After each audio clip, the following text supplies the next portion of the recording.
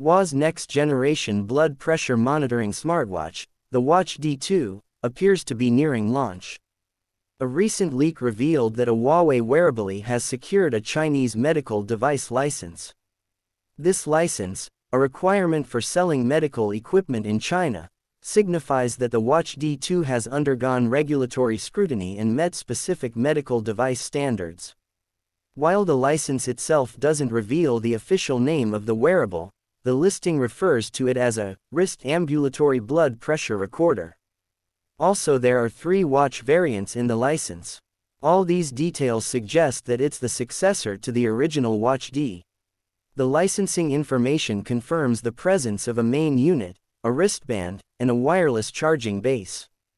Feature-wise, it's expected that the watch will be able to measure blood pressure, both systolic and diastolic blood pressure, alongside heart rate, in a static state for users aged 18 and above.